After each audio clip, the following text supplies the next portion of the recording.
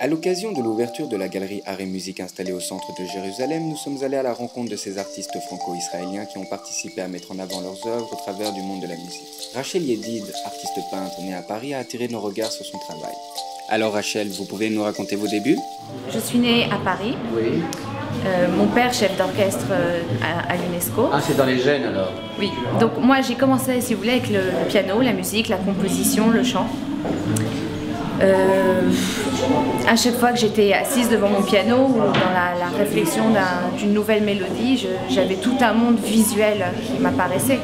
Et euh, je trouvais ça dommage justement de ne pas le dessiner, de ne pas euh, en garder une trace. Et donc au fur et à mesure, je, dessinais, je faisais des croquis de tout, ce monde imaginaire. J'ai continué mes études dans l'art et pas forcément dans la musique. Mais ça a toujours été quelque chose qui a toujours été en fusion. Et que représente l'opéra pour vous? Pour moi, l'opéra, c'est euh, le temple de l'amour. Euh, Il n'y a pas un plus bel endroit pour euh, célébrer justement l'art qui concerne l'amour à la rencontre justement de la musique qui est son origine.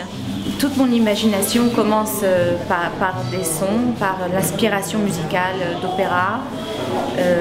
Et puis je prends donc un personnage d'un opéra particulier et euh, je m'en inspire et je peins son portrait, un nouveau portrait, pas forcément celui que vous pouvez rencontrer à l'opéra, un portrait complètement imaginaire que je vous peins ici. euh.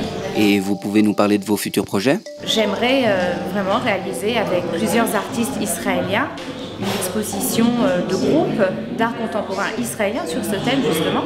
Et à Paris, à Milan, à New Pourquoi York pas dans, justement de représenter cet art-là dans plusieurs opéras euh, en Europe ou dans le monde. Euh, donc voilà, c'est un projet qui me tient très à cœur et j'espère que nous allons bientôt le réaliser.